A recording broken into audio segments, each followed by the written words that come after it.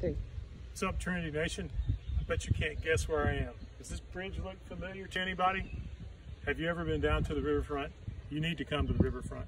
This place is amazing. I know we filmed down here earlier this year up around the skate park, but we just rode a good six miles on it. It's easy ride.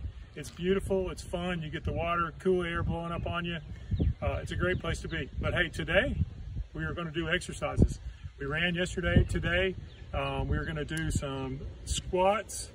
Okay, just straight out squats. Nice hair. I need a haircut. Yes, I do. We're going to do squats. If you want to hold something out in front of you, it might be easier. Get your legs kind of close together. Come down. Hold for five seconds. Come up. Go down. Hold for five seconds. You're going to do three sets of 10 of those. Three sets of 10 of those. Uh, we're also going to do the jump squat again. Great if you're a basketball player. Even if you're not, it's even better. You start out in the squat position, I mean in a lunge position. Hop to the leg, other leg, straighten your legs up, down, hop. We're gonna do three sets of 10 of those. And to finish it out, we're gonna do a little cardio. My camera operator's awesome. We're gonna do three sets of 10 of these. One, two, three, one, one, two, three, two. Those are my favorite. Remember, stretch good.